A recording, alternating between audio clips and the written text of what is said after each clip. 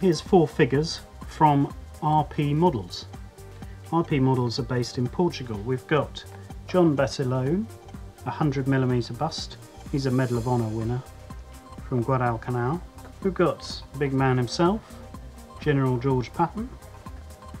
That's a 100mm bust. That's from a series called Battle and Commanders. Then we've got from the World War II series a 100mm bust,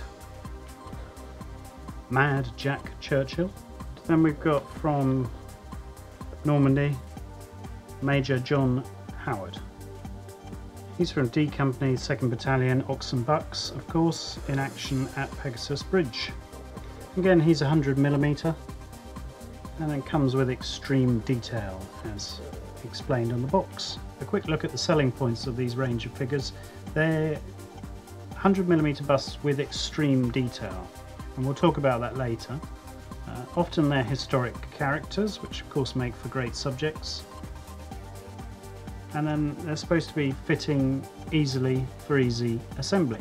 The standout features of this manufacturer is that the figures are digitally designed, so they're designed on a computer. That's transferred to a master, that's 3D printed, and then that is made into a figure. You can see that the 3D renderings are on the box as a selling point. Let's get started. So here's the Basilone character. Here's what you get. You get some information and an authenticity guarantee, and you'll see these are limited numbers, so there's only 500 of these made. Here's the main torso.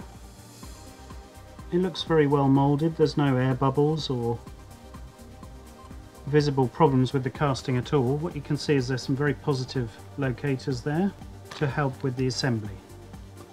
If we just zoom in you can see the detail of all the webbing. What we'll do now is we'll lay out all the parts so you can see them in detail. It's good crease detail on the arm, you get a couple of grenades. There's the Garand. There's the machine gun. Of course, the face. So the attraction here is the story of the man himself, a Medal of Honor winner, and of course the action pose. One of the advantages of it coming via the computer is the design is excellent. This is a detailed look at the George Patton figure. The leather jacket's got a great texture on it that replicates that sort of uh, flying type jacket he loved so much. There are his signature pistols. The arms as ever are well designed to fit well and there of course is the face. A pretty good likeness now a couple of parts were broken, possibly in transit, we're not sure, but it's easily fixed. There are the binoculars. There's the helmet with the three stars. 500 made. And you get a bit of history as well. All in all a great subject. And it's just crying out to be painted. Here's Major John Howard. As you can see it's quite a substantial kit in this scale at least.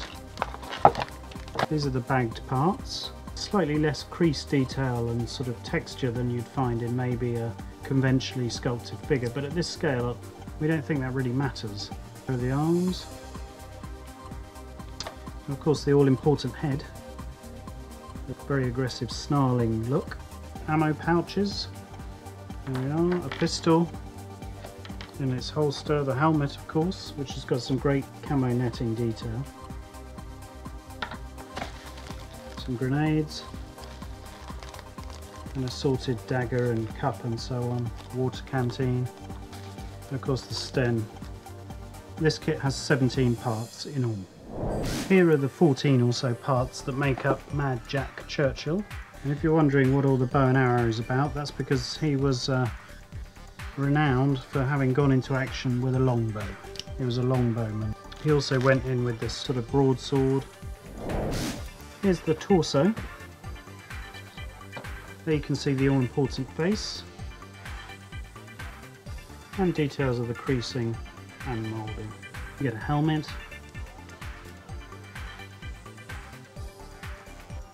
Here are all the other parts. Here's the longbow, a case of carefully detaching it.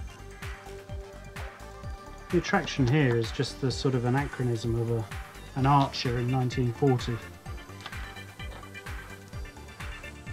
You can't fault RP models for choosing a fantastic subject, an unusual subject, an appealing choice of character, and an exciting pose. Again, this is a limited edition, there's 200 of these available, and that rounds off our review of RP models figure range. Remember, they're all available from Historex agents. Thanks and bye.